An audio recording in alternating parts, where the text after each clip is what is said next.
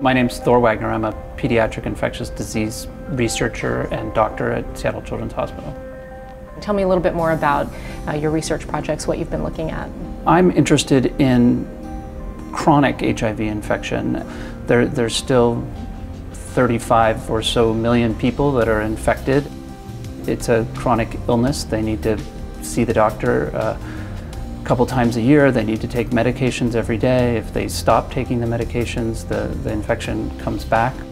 We're taking care of uh, kids in clinic that, that are already infected and they've been infected for a long time. We're interested in, in why is HIV really so hard to, to eradicate. We're hoping that, that understanding that better will allow us to uh, come up with better treatments for HIV and hopefully someday cure HIV. You see patients and also have your time in the lab. Why is it important to you to do both? The biggest insights we've had into HIV were because we've continued to study and work with the kids that, that come to clinic.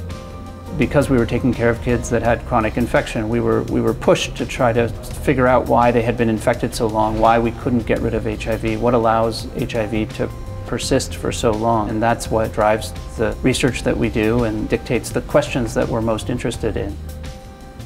If the research we're working on now is successful, we hope that it will be a therapy, perhaps in combination with a lot of different therapy that, that might lead to a cure for HIV. And there are more breakthroughs to come. We hope so.